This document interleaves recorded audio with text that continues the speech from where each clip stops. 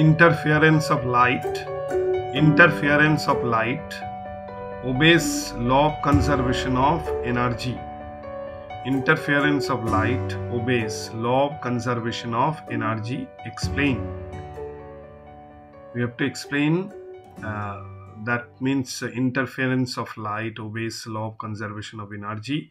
S1 s2 are the two coherent sources. From these two coherent sources s1 and s2 light waves y1 and y2 superimpose one another at the point o on the screen. At the point o on the screen. Y1 y2 are the two interfering light waves which will superimpose at the point o. And o is the just opposite point uh, of midpoint between s1 and s2 and in this way dark fringe will be formed and at o bright fringe will be formed Imax is the intensity of resultant wave for constructive interference and I Imin is the inter intensity of interference pattern in a region in which destructive interference occurs. I1 and I2 are the intensities of two interfering light waves.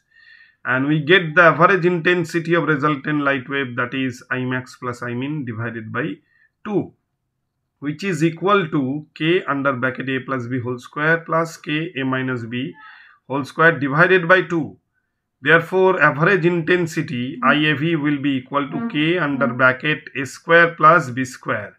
IAV is equal to K under bracket A square plus B square. That is the average intensity of interference pattern.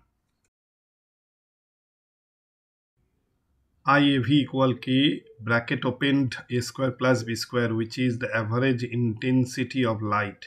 Average intensity of light in interference pattern average intensity of light in interference pattern that is IAV equal K A, a square plus B square. If there were no interference, if there were no interference of light, that means if interference of light does not occur, uh, in that case, what will happen if there were no interference of light? Then the intensity of the intensity of light light waves the intensity of light waves will be i equal i1 plus i2 i will be equal i1 plus i2 so in this case uh, this is the screen in the diagram. And uh, we get if there were no interference in that case intensity of light waves will be the resultant intensity of light waves uh, will be I is equal to I1 plus I2. If there were no interference, if there were no interference, that means if interference does not occur, the resultant intensity will be I, which will be equal to I1 plus I2. Now, uh, here on the screen, resultant light wave is Y, which is equal to Y1 plus Y2, and resultant intensity will be I equal I1 plus I2 resultant intensity on the screen is I which is equal to I1 plus I2 if interference does not occur and if interference occurs then average intensity will be IAV which will be Imax plus I Imin divided by 2. If there were no interference in that case the resultant intensity of light wave from the two sources will be I equal to I1 plus I2 putting the expression of i1 and i2 we know that i1 equal k square and i2 equal k b square where a and b are the amplitudes of two interfering light waves. So therefore i is equal to k under bracket a square plus b square. I is the intensity or the resultant intensity of light wave if interference does not occur. Therefore iav is equal i.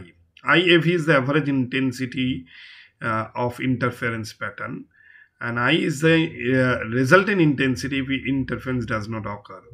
Hence, no energy is created or destroyed. Hence, no energy is created or destroyed in this process or destroyed in this process.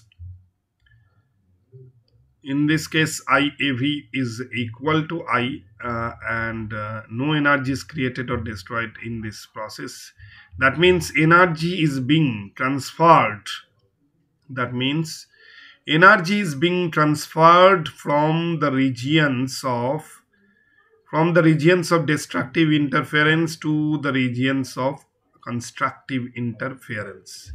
Energy is being transferred from the regions of destructive interference to the regions of constructive interference.